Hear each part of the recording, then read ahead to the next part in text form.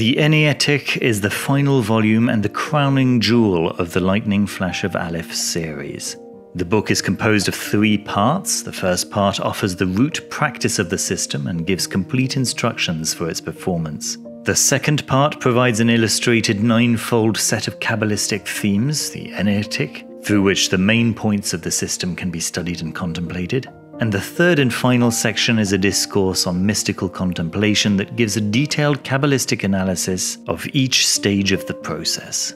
The book introduces a practice that conditions the mind but is established in the heart. This is the point from which all calculation and measurement commences, where conceptuality both begins and ends.